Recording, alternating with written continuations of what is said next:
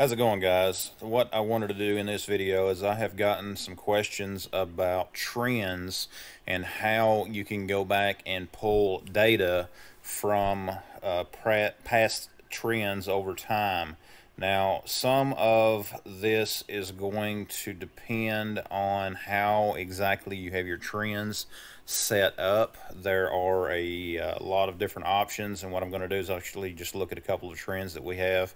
I'm going to go in here. Uh, of course, I'm basically I'm looking at a. Uh, let me scroll back. I'm just going to grab a zone temp and just look at the trend on it for this particular unit, and you can see here. Can, this is one way of doing it. I go into the extension and I hit trend and you can see the trend here.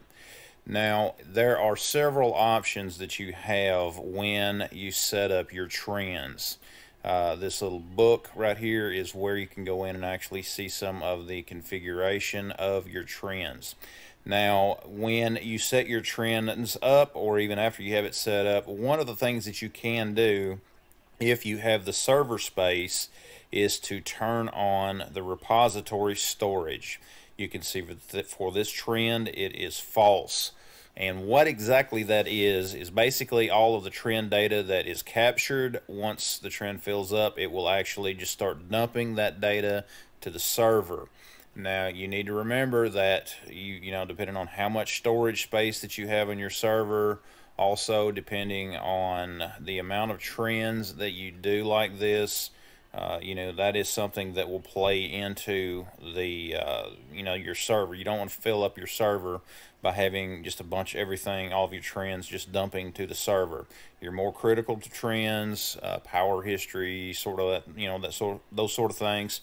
You may want to store those longer term but anything that you don't want to store longer term you should have this set to false Another thing that will affect it as far as how much data you can store in the trend uh, before it would need to dump to a server or before it just rolls off is how often you have it to uh, sample.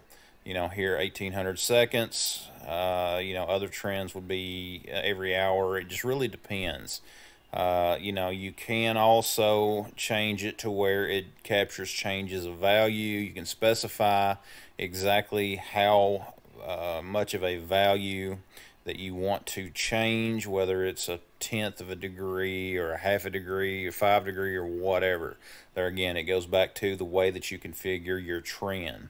Another way that you can actually go in and do some comparison is by using the trend viewer what we're going to do now, I'm going to actually go over here and just grab a couple of zone temps and we'll just do a quick comparison. And once I have those highlighted, I'm going to go up to my view and I'm going to go to trend viewer. And what this will do is it is actually going to pull the trends for both of those two points and put them in a graph together. Now, a neat thing about this is you can go back a little further, particularly if you have trends set up to where they're uh, you know, dumping to the repository and you want to do some comparisons, uh, you know, trying to do some troubleshooting or whatever, you can go here to our little book again. I'm going to click that and you can pick a range start and a range end, okay? And for this, I'm just going to show you an example as well. I'm actually going to go back a couple of months. Let's go back to October 1st. And now that I have selected that, I'm going to go back and look at my trend. I want to show you something very interesting though. Okay, here's today's date currently. Now, if I hit time, I'm just going to go back and see. You can see here the 17th.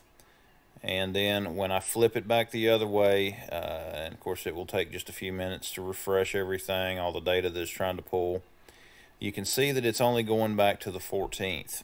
Okay, that is because these trends that I showed you just a minute ago does not have the repository enabled. So it's only going to be able to pull data only as far back as the trend has been capturing it. You can remember I started this, I went all the way back to October of 2020, but it is not going to go past February 14th because of the way these trends are set up.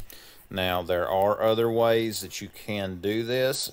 Uh, you know, uh, you know, and if you do have a have the repository active, you can go back much further on your data. Let me just look here if I can find another trend that uh, would be a good example. okay, I'm going to go in here. Just for exact, just for example, I'm going to go to our hourly demand. Let's see here. You can see here. Uh, I'm going to go to select view. Uh, well, let's try it this way first. I'm just going to show the trend first. I'm going to go in here to the trend, and you can see here it is kept going back so far. Uh, but now let me look at this just to see. And I do have the repository enabled here. Now, if I go, I have this highlighted here. I'm going to go up to View, Trend Viewer.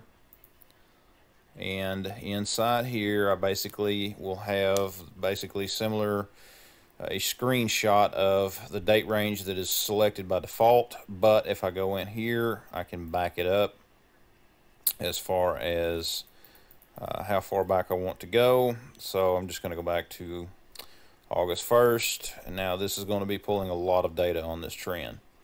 And you can see here it's starting to populate with that data in here.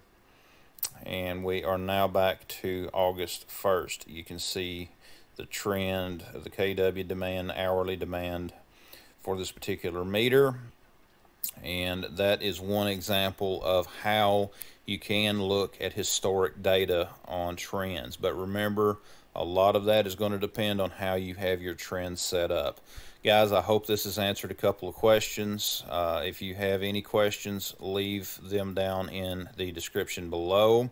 Also, check out the rest of the videos on the channel. Check out the links down in the description. Anything you buy through those links kind of helps to go to support the channel. You can also help support us on Patreon and that sort of thing. But guys, thanks for watching. Check out the rest of the videos on the channel, and we will see you next time.